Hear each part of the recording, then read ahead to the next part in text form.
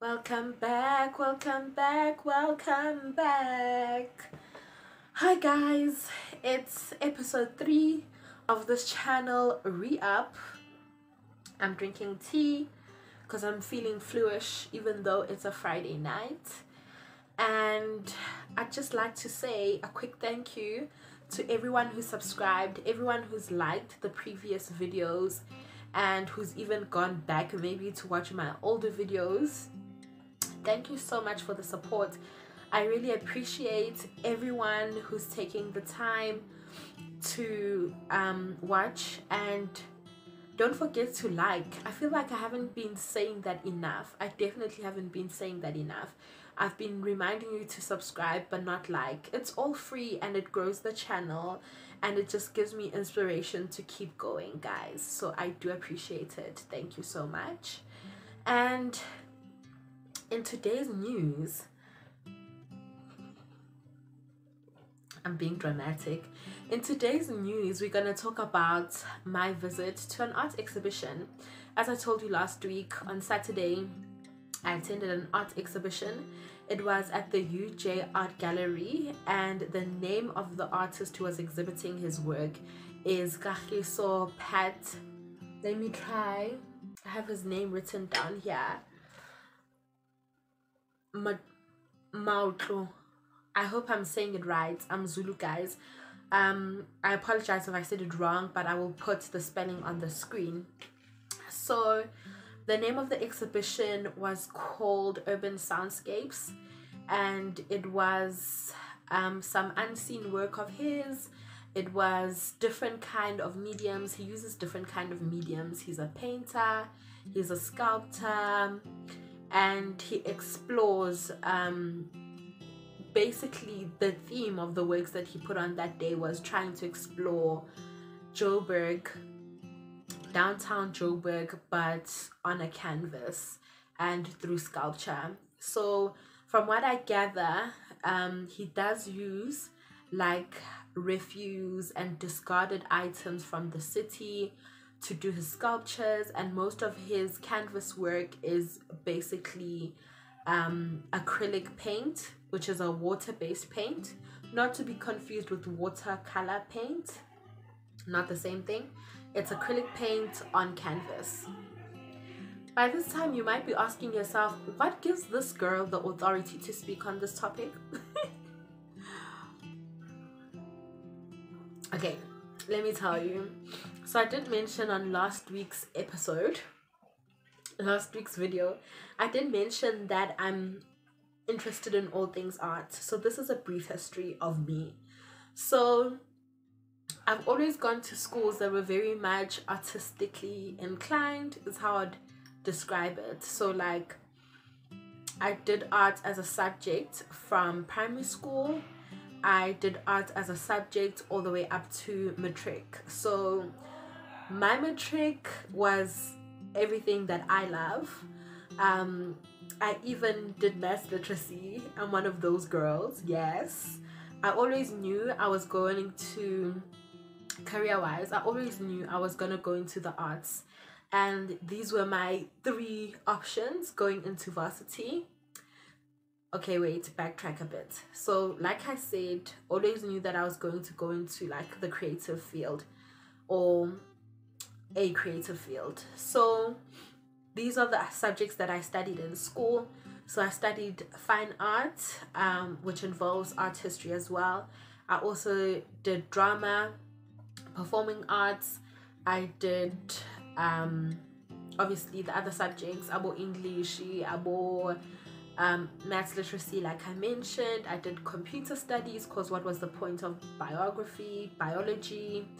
I didn't do geography, so that's me matriculating. And then when I went to varsity, I studied dramatic arts at WITS.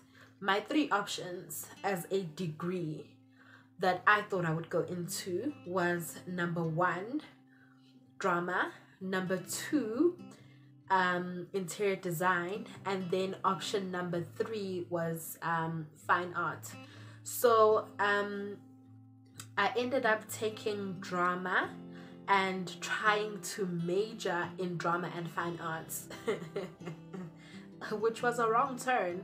I bit off more than I can chew there because they're both very time consuming um, courses. So I ended up majoring in the drama section, but I majored in writing and arts management. So do you get the picture? Does it make sense? So yeah, fast forward to last week Saturday, um, and my thoughts. So the exhibition was lovely. His work was beautiful, and best of all, um, my favorite painting, which featured at the end of last week's video, was his painting called um, Happy Days.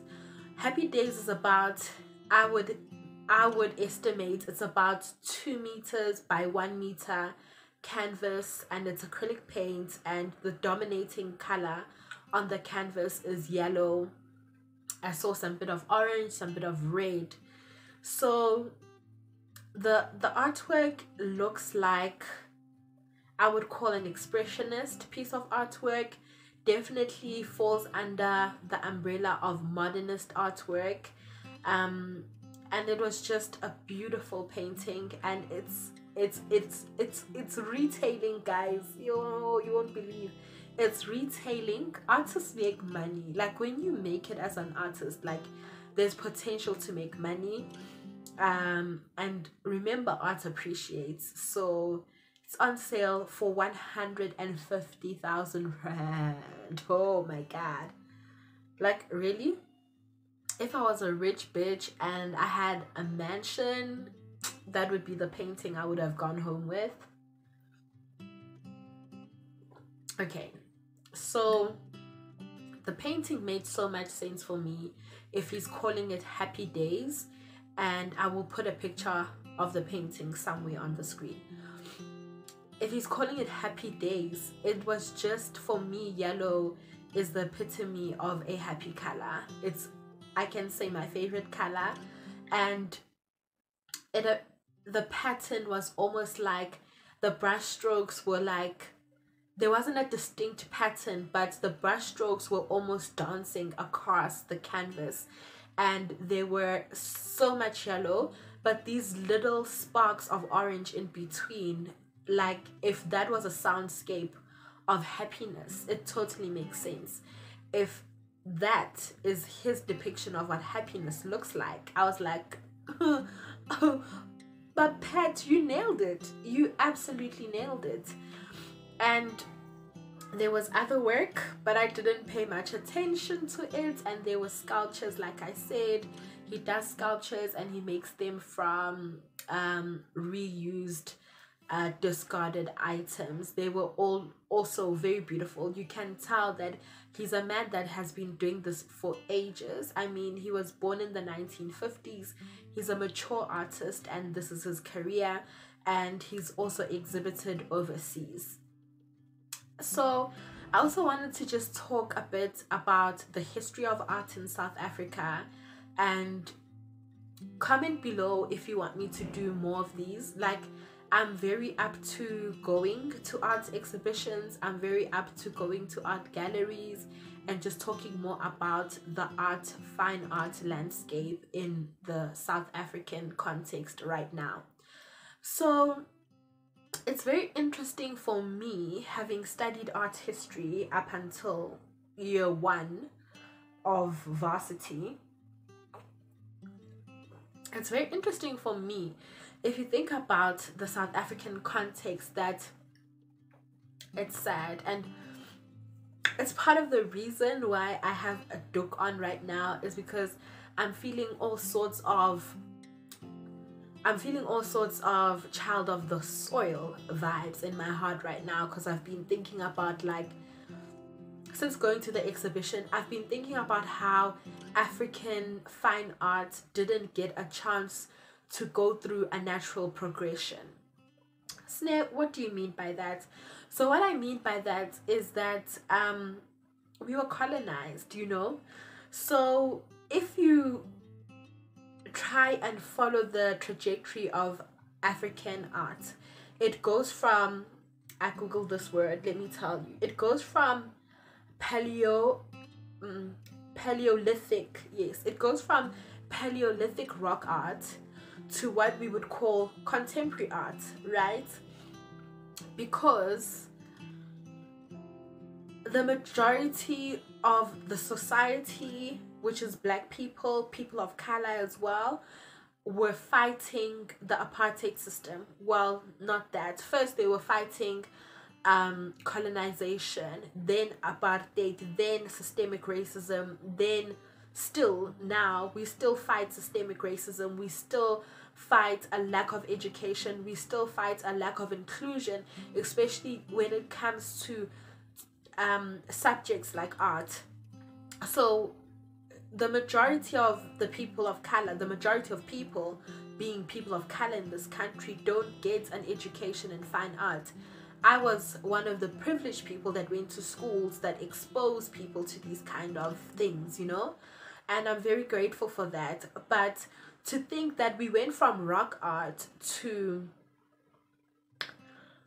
um, rock art, then from rock art, we were obviously as a society, you're never gonna stop creating art, but the center of the topic of the art then became protest art. Um, because for people of color, contemporary art, if contemporary art reflects the times that we live in, then it had almost had to be um, protest art.